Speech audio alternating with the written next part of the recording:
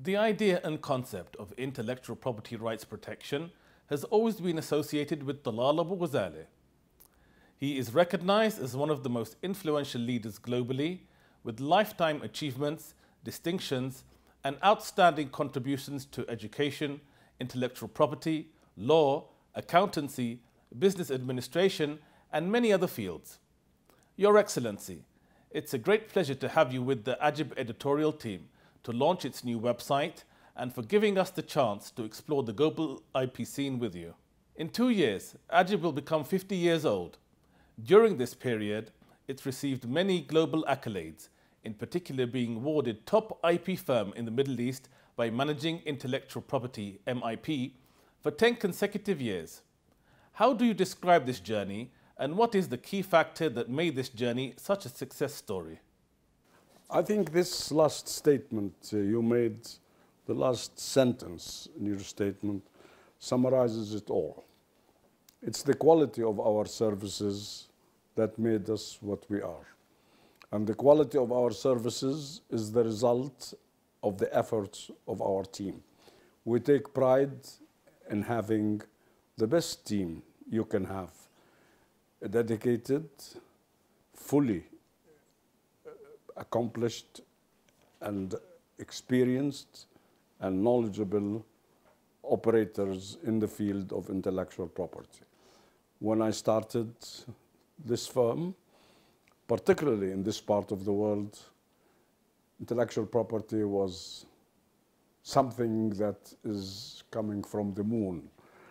Nobody understood it. And our first mission, the first part of our mission was to create an awareness and an understanding about the importance of intellectual property. Intellectual property is not to protect the rights of the owners only. It is through that protection, it is the tool for economic development.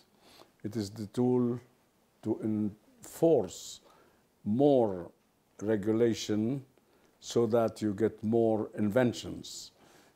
It is, as uh, Franklin Roosevelt called it, uh, intellectual property added fire, as it added flame or, or oil to the fire of genius. Genius needs intellectual property to get inflamed. To, uh, so what we're doing, uh, my belief in intellectual property as a mission made us a success. And I always tell my, our young generations all over the world, in order to succeed, you must have a mission. Realizing that intellectual property is the economic driver made me believe that uh, it should be my mission. And I want to, to give credit where it's due. The first time I heard about intellectual property was at a conference in San Francisco by Time Warner. And I, intellectual property, what does that mean? And I then started like a good student, which is, which is what I am until now. I started learning about intellectual property. And then I decided to join the wonderful group of intellectual property operators, operating firms, whether they are owners of intellectual property offices or agents for intellectual property registration. This wonderful, wonderful community I came to know inspired me, and the, as a good student of the world global community, I decided that we want to add to this wonderful group another firm that combines intellectual property with information technology. I am an IT person, and I wanted to to create a firm that is an IT firm which provides intellectual property services.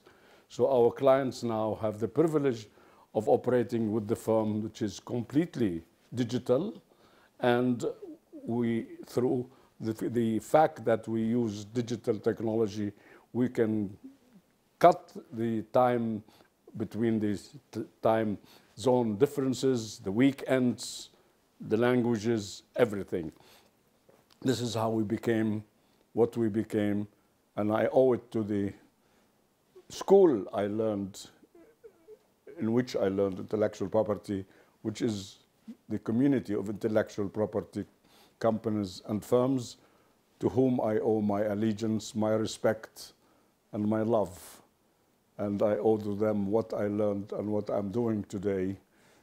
I learned from every one of them, and I developed friendships with so many of these wonderful people that I enjoyed working with, and I enjoy, and I will enjoy, as a firm, as one of the leading firms of the world, we are very proud to belong to the IP community.